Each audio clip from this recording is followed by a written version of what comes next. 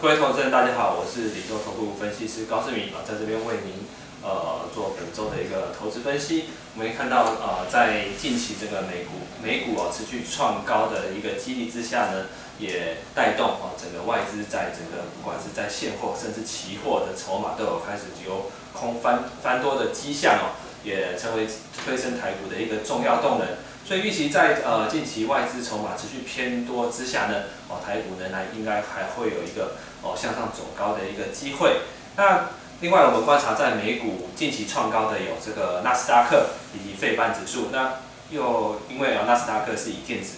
股为主哦，那费费半呢是以半导体为主哦，所以在这个呃两个重要指数呃一个创高的一个带动之下呢，也有助哦吸引市场的资金开始琢磨。这个相关的一个电子族群，像我们可以看到哦，今天这个半导体设备指标股汉维哥或汉维科哦，三六五八的汉维科，它股价就再创波段新高哦。那预期在它这个创高的一个呃带动之下呢，哦，这个相关设半导体设备呃供应链应该都还有走强的一个机会，甚至哦接下来一个具有题材的呃电子股应该哦都还有。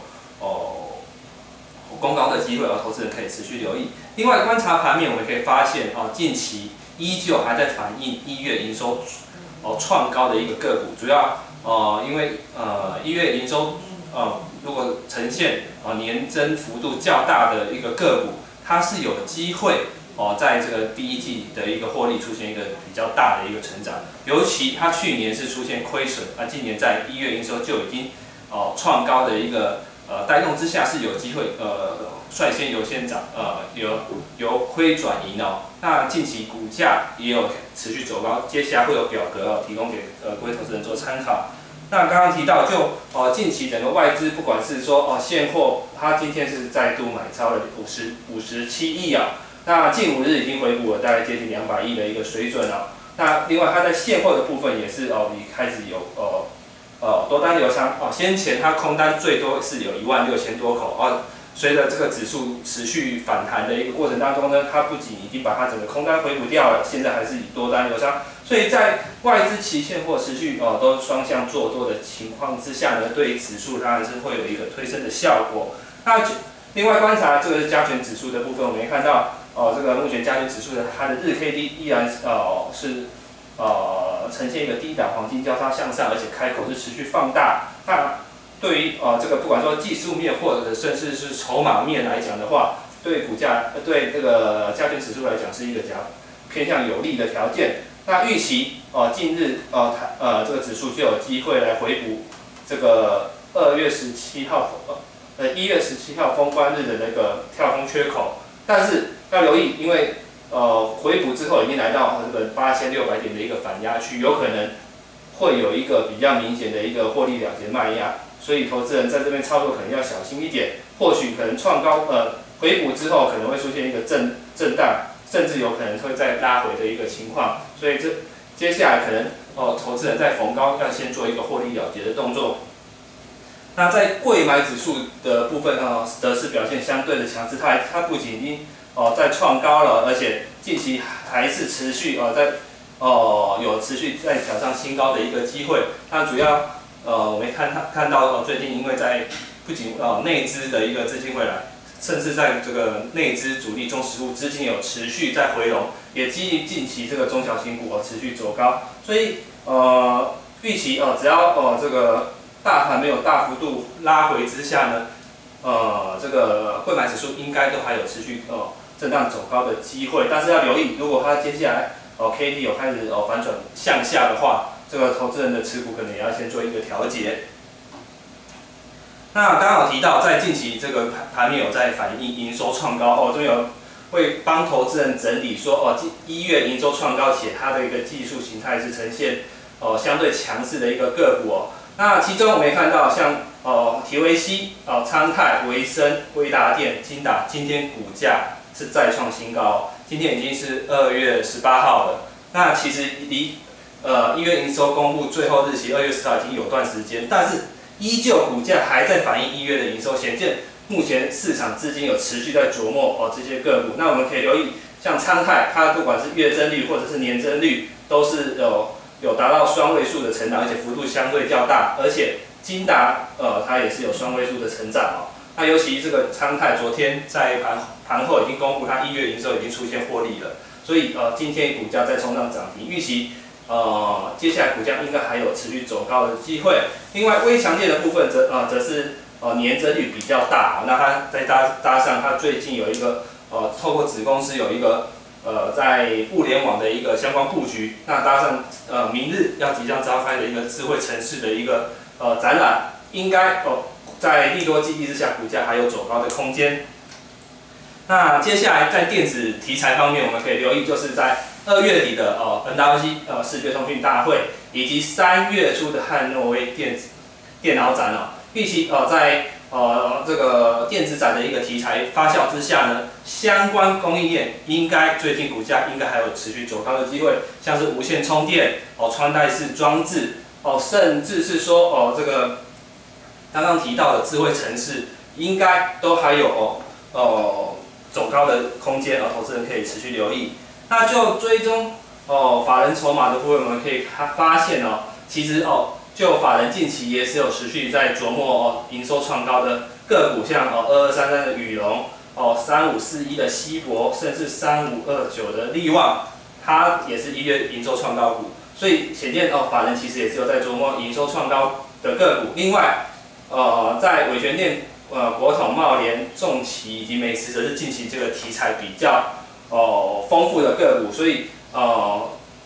如果呃它有一个基本面利多，再加上筹码面偏多的双重呃条件之下呢，股价应该都还有哦持续走强的机会。其中可以留意一七九五的美食哦，它今天已经是连呃第二第二个涨停，而且是连续跳空。就主要是因为在昨天它召开临时股东会，已经确定已经顺利通过这个美商药厂的一个合并购案了，所以。在这个利多激励之下呢，它股价是呃持续在走高，尤其在并购之后呢，它有机会成为亚洲的第五大药厂，而且它是算是美美商借壳股在台湾挂，未来是美商借壳股在台湾挂牌的唯一档个股，是有机会哦成为一个呃在生技股的一个指标，投资人是可以持续留意哦。那近期哦，我认为呃可能比较哦可以走长线多头格呃。格局的族群有，应该是在无线充电的这个部分哦，不管是说，嗯呃，接下来的 N W C 甚至汉诺威电脑展，应该哦相关的装置都会有搭载无线充电的功能哦。尤其最近有一些呃利多的一个加持之下呢，应该对股价有一个激励的效果。像是哦，在这个呃无线充电的一个技术标准，呃过去是有三大的一个阵营哦，那近期是传出其中两大阵营要要要要做一个合作，未来他们的一个。相关装呃装置的技术是有一个呃呃兼容的一个情况，所以在整个呃技术开始趋向统一来讲的话，对未来这个商呃产品进入商品化的一个时时程就会加快了，所以对呃相关个股应该是会有一个正面激励效果。另外我们观察红海在近期的虎博会当中也有大秀无线充电的产品哦，那。哦，红海近期除了说布局机器人、布局 Tesla 之外呢，它近期呃，它又秀秀出哦，这无线充电板，表示它看好无线充电未来的一个发展，它才会积极布局这一块。所以我想在郭台铭的一个背书之下呢，对于这个族群可能会有一个加分的效果。另外哦，这个丰田汽车有推出说哦，充电三九十分钟就可以充饱的一个一个技术哦，所以这个无线充电的技术是也有在做一个提升。那无线充电相关族群哦，我们可以投呃持续留意。当然，先前提到的，在苹果苹果阵营的宣德，甚至在非屏阵营的联昌，这是整个族群的指标股哦，投资人可以持续做一个留意。另外哦，在一样情况跟跟手呃行动装置充电有关的，就是在行动电源的部分。最近这个小米有推出行动它的一个小米行动对电源哦，价价格是一个破坏性的价格。比起同级性产品是便宜一半以上哦。我们看到在同样规格的来讲的话，目前的市场价格是在八百到一千六，它只有三百四十五元哦。这破坏性的价格可能会有一个很很好的一个销售量，所以相关供应链应该呃会有一个加营收爆发爆发的机会，尤其在年后它它有要扩大生产，所以可能哦这个相关供应链营收应该在二月会有一个比较明显的跳升。那另外，它在二月十四号再推出 mini 版强势哦，价格是四十九人民币，大概在台币两百五十块。那大概只有名片大小，这比较更方便携带哦。所以我相信，在呃，不管是它原本一般版的以及迷你版的一个强势之下呢，这个对于呃这个呃供应链的营收动能就会有一个很好的一个挹注效果。那行动电源的下一步可能会是在无线充电的行动电源，这个投资人是可以持续留意，尤其目前单价还在两千多块，对毛利来讲是有一个呃有一个正面的呃加分。那我们可以看到过去哦，呃，这个是英业达是组装小米机的主要组装厂，我们看到它在接到小米的一个手机订单之后呢，有激励它股价走了一大波的一个多头。这一波的涨幅有高达两倍之多。那虽然现在进入一个震荡整理，那但是仍是维持高档震荡。预期在新的小米，不管是小米三或者小米四开始上市之后呢，可能对它股价会有一个加分效果。那我认为小呃这个小米行动电源组装厂是有机会复制英业达的走势哦。虽然它现在已经走了一波，但是我们观察，其实它现在这个阶段很像是在英业达这一段哦。创高呃走高之后进入一个震荡周期，那在出量之后上攻，那它最近其实有在出量上攻哦，它预期有机会跟上的脚呃它的脚步。那至于这档股票是哪一档哦，如果有兴趣的投资人是可以打电话来做一个询问。那预祝投资人在本周的操作顺利，谢谢。